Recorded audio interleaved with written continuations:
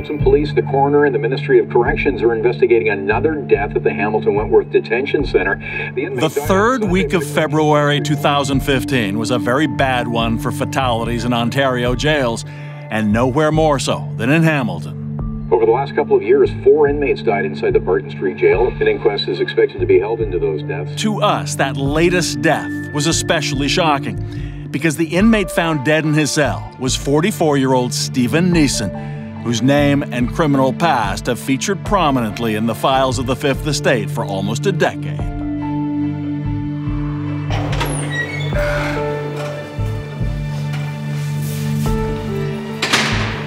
We began following Stephen Neeson in 2006 at the maximum security Kingston Penitentiary for a story we were researching about repeat offenders trying to go straight and why so many of them can't. When we learned he had died, it seemed a unique opportunity to answer the question we began asking 10 years before. Then in his mid 30s, Neeson had spent almost his entire adult life robbing banks or behind bars because of it. For him, it seemed applying for parole was a large leap of faith. I always think that they're not going to give it to me, and if they do, then it's a bonus. Then you're not let down. You know, it's hard to get a parole out of a maximum security. Okay, so we'll begin. Today is the 22nd of November 2006, and we're here at Kingston Penitentiary to see Stephen Neeson. We had been given permission to record his parole process a rare chance to try to understand how a career criminal got here and what it would take for him to get out and stay there. Um, the parole board asked the same thing. My understanding is that there were some issues from your childhood, and um, you were in and out of facilities and that kind of thing. Uh, what, what uh, in your mind caused you to sort of start acting up as, I guess, by nine or ten years old, you were starting to act up? When what, what do you I, think is central? When I found out I was adopted, mm-hmm. uh, I never felt like I belonged. I mm-hmm. started to run away from home. And uh, when I was running away from home, I stole to eat and so on and so forth. And uh, it turned from surviving to crime. Then, what may be the parole board's most common question when did you get into drugs? When I was 18. What's your drugs of preference? Well, it was cocaine. Yeah. After that candid interview, waiting with his lawyer for the board's decision, Neeson sounded optimistic. Do you feel good about uh, the, the hearing? Yeah. Yeah, I think. I thought it went. I, I, I thought it went better than what I expected it to. Actually. Oh, that's good. But afterwards, with his birth mother Dale Lou back in touch and here for support, he didn't seem confident. It's okay. It's okay. I think you did fine. Yeah. It's not easy. It's not easy, especially since you don't. You've never gone parole. I'll see you upstairs then. Yeah, I'll on behalf. Okay. Cross my fingers. All right, mom. Bye. Okay. Love you. Love you. Bye. Bye. By this point in his life, Stephen Neeson may have learned to expect the worst. His childhood photos appear normal baby pictures, school portraits, posing with new hockey skates. But Neeson's early years were troubled, given up for adoption at birth, a hyperactive child sent to foster care, then psychiatric treatment and group homes. If blaming his adult life on a bad childhood sounds like a sob story, a leading forensic psychiatrist says it could well be the case. Well, the conventional wisdom is that somebody has a family that's deprived of love and affection, puts them at risk to become personality disordered. Um, Dr. John Bradford should know. He's examined many of Canada's most hardened criminals. We asked him to review Stephen Neeson's background. Um, so by the time he's 16 or 17, he's had multiple placements. He's even been in a psychiatric facility at a certain point. Um, so all of that leaves its scar on the person's personality and emotional health. By the time Neeson was 18, his rap sheet already showed a lot of scars. Three years in prison for property crimes and drug charges, a nine year sentence for 10 bank robberies, 20 years more for robbing another 11 banks, the last one in his hometown of Brockville, Ontario, when he handed the teller a note saying he had a gun and demanding cash.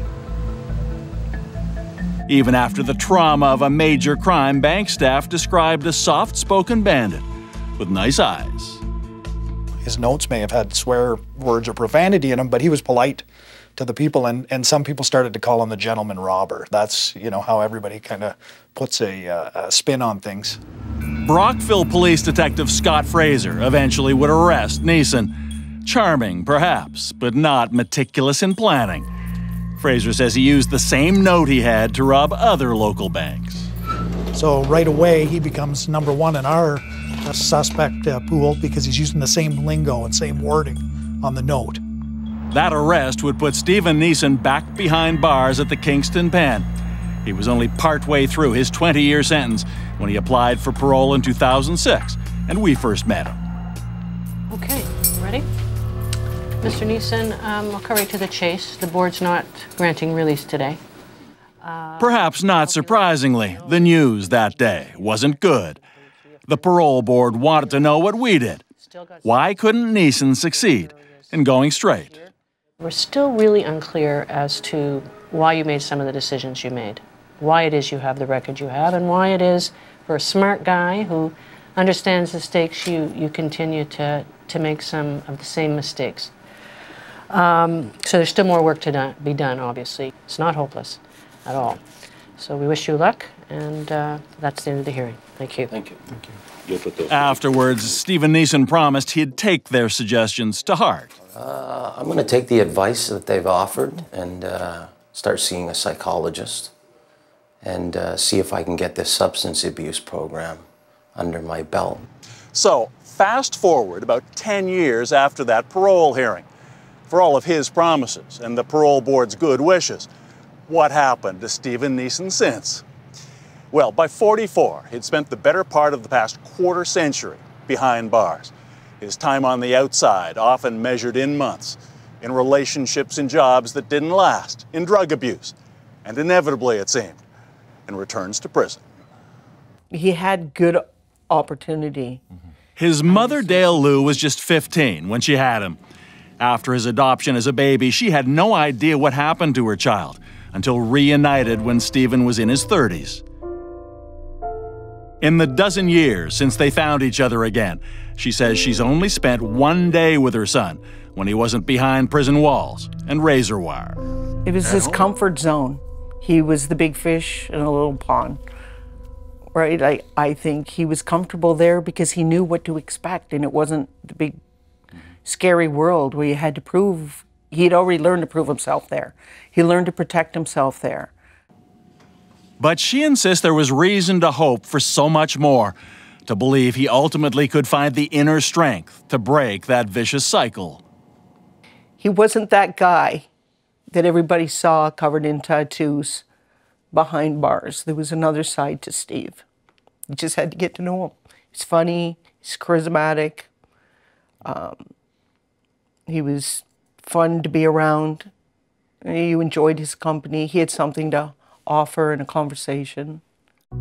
And finally, in 2013, thanks to treatment, inner strength, or both, Stephen Neeson got that opportunity to prove himself.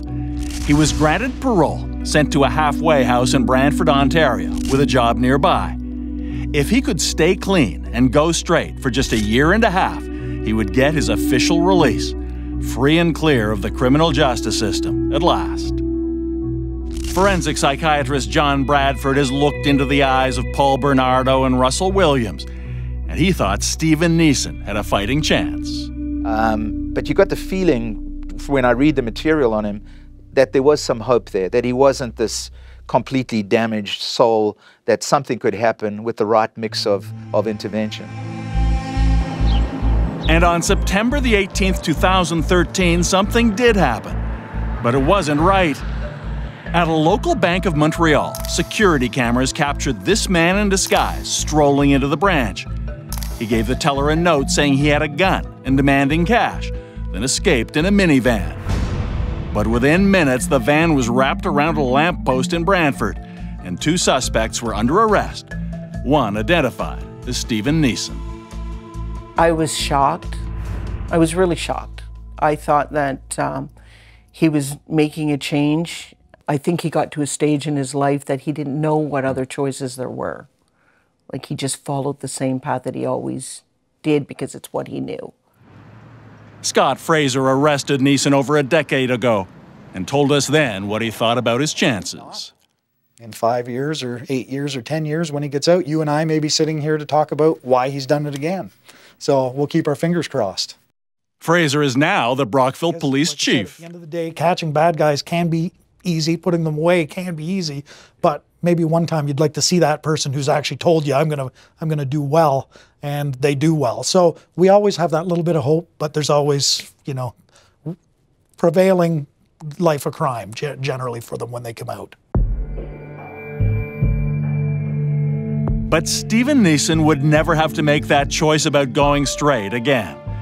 In February 2015, awaiting trial for the bank robbery, he was found dead at the Hamilton Wentworth Detention Center, drug paraphernalia in his cell. Was it accidental? Suicide? A jailhouse murder? No cause of death has yet been determined. For now, the last unanswered question in the life of Stephen Neeson. I know in my heart Steve would never commit suicide. I don't ever believe that he would ever do that. So I don't know what happened. The coroner doesn't know what happened. Now it's gone to toxicology. And I'm worried that we'll never know. And his life will have gone. And there'll be no answers. Again, like when his life started.